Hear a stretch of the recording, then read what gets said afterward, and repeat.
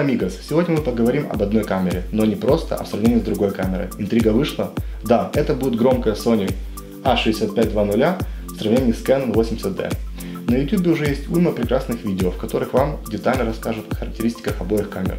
Поэтому я решил сделать видео о реальном опыте использования камер и, конечно же, включил именно видеосъемки. Также хотелось бы, чтобы вы учитывали, что это всего лишь мое личное мнение и опыт. И да, я активный пользователь и фанат техники Canon. Но в этом видео я постараюсь быть максимально беспристрастным, как Фемида.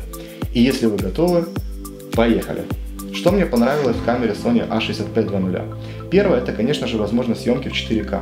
Да, возможно, этот 4К пока особо никому и не нужен, ведь экранов, способных передать всю прелесть 4К, пока не так много. Да и железо для работы в пост 4К должно быть соответствующее. Тут уже подтягивается и расширенное хранилище, но факт есть факт. 2018 год за окном, и это инвестиция в будущее. Тут смущает только битрейт 4К в Sony, всего лишь навсего 100 мегабит в секунду.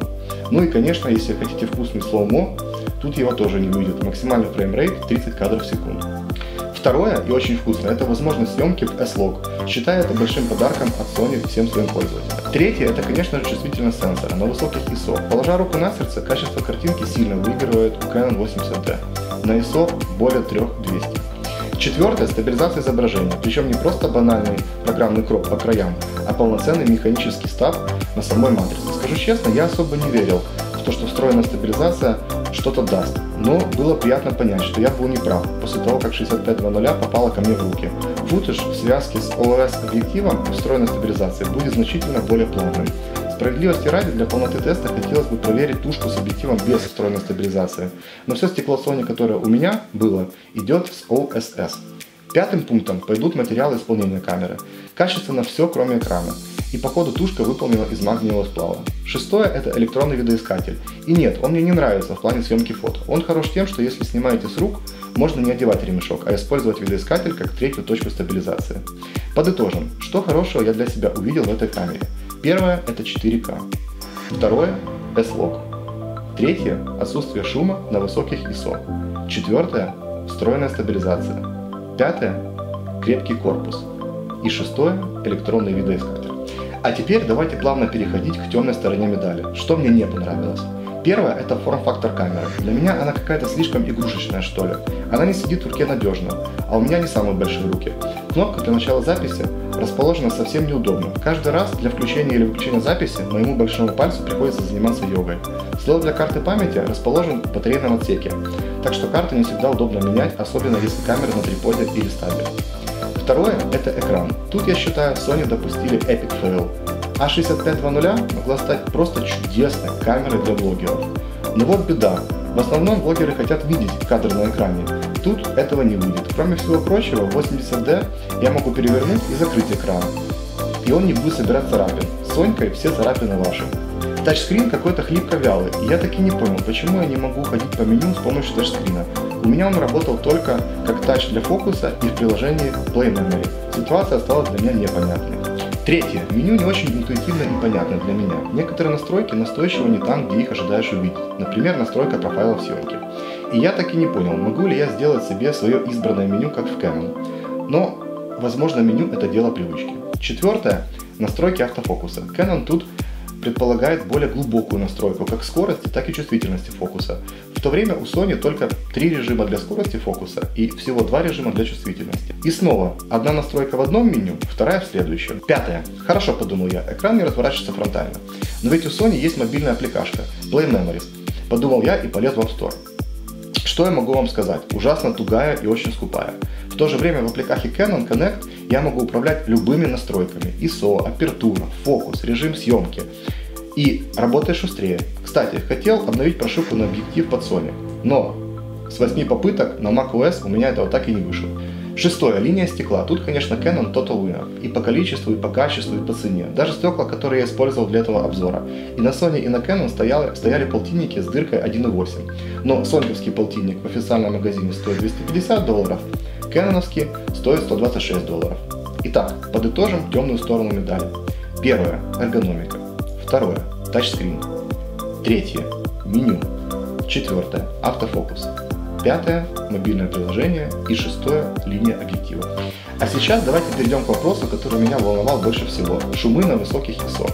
Я сделал тестовый футаж равных условиях и на одинаковых настройках. На обеих камерах дырка была выставлена 1.8, скорость затвора 1.50, уровни ISO соответственно были 800, 3200, 6400, ну и чисто ради эксперимента 25600. Частота кадров 24 на 80D качество MOV на Sony Full HD и 4K. Баланс белого был поставлен на авто. Профайл съемки нейтральный. Шумоподавления были везде отключены. Давайте смотреть. И пардоньте за легкую тряску на Canon. Стекло было без стабилизации.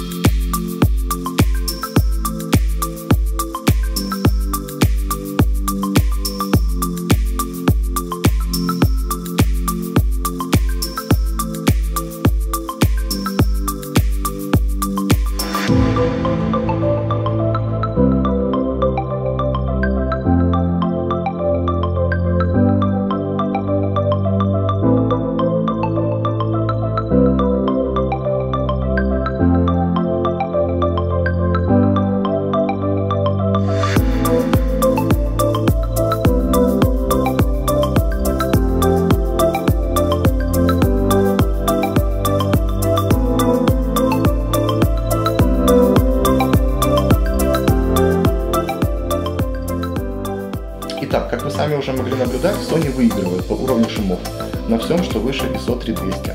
Но при этом лично мне кажется, что изображение визуально немножечко размыто, что ли. Подведем итоги. Довольно длительное время я серьезно задумывался о покупке 6500, в большинстве своем из-за возможности съемки в 4К и S-Log.